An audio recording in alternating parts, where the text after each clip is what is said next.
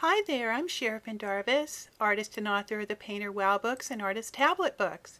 In this video, I will demonstrate how to import stamp-based Photoshop brushes into Painter and give an example of how a brush can be adjusted to paint nicely in Painter. To begin, you can search the web for free stamp-based Photoshop brushes and download them, or you can choose some of your own Photoshop brushes. For this demonstration, I will import a Photoshop brush set that I made and adjust the settings of a brush so that it will paint nicely in Painter.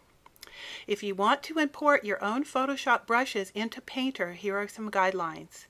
In Photoshop, create the brushes in a grayscale or RGB color space. If you save a size with your brush in Photoshop, it may not import into Painter successfully. Brushes based on default Photoshop brushes may not import. And finally, special Photoshop media, for instance mixer brush presets, will not import. To import a Photoshop brush set, choose Brushes,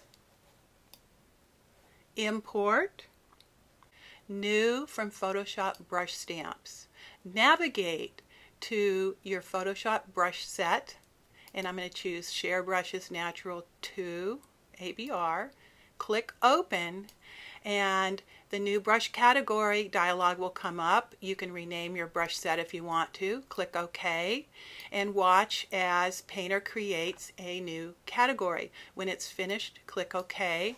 You'll find your new category in the Active Painter brush library. I can scroll down to the bottom. Here's my brush category.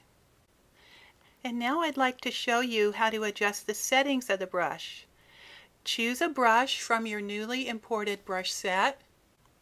I'm going to choose one, Share Brushes Natural 2. Using your stylus, make a practice mark with the brush. You'll see that it looks a little bit ragged. The first setting to adjust is spacing between the stamps or footprints of the brush stroke. Open the brush controls if you don't already have it open by choosing Window, Brush Control Panels, General, in the brush controls, I'm going to click on the spacing tab here and you'll see Painter has settings, suggested settings here. And I'm going to reduce the spacing to about 7 for this particular brush. Make a nice mark. You'll see how much more expressive and smooth it is just with that one setting. You can enjoy the brush as is or change its media type. Here's how it looks as a watercolor brush. In the General panel, choose Method, Wet. In the subcategory, choose Grainy Wet Abrasive. Now with this method, a new watercolor layer is going to be generated when I paint with a watercolor brush.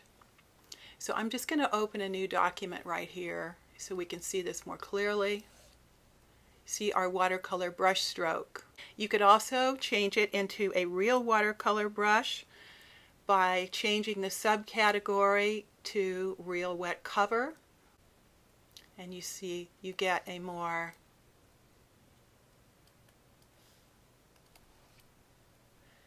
transparent looking stroke.